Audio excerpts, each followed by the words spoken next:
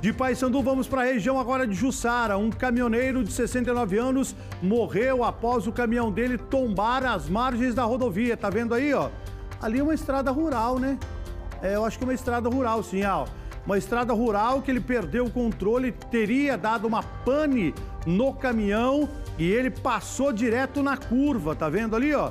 E acabou capotando o caminhão lá no meio do soja com o impacto ali, né? Como as rodas do caminhão ficaram para cima, a gabine acabou sendo ali é, toda macetada devido ali ao, ao impacto. O pessoal do Corpo de Bombeiros esteve lá em Jussara, mas lamentavelmente, quando tiraram o motorista das ferragens do caminhão, ele já estava sem vida. O corpo dele foi levado para o Instituto Médico Legal e é mais um acidente grave com morte, onde um pai de família acaba perdendo a vida. Provavelmente ali, pelo que foi constatado pelas equipes que estiveram no local, provavelmente foi uma pane mesmo que aconteceu ali no, no caminhão. Ele perdeu o controle, passou direto na curva e o tombamento do caminhão aconteceu. Meu Deus.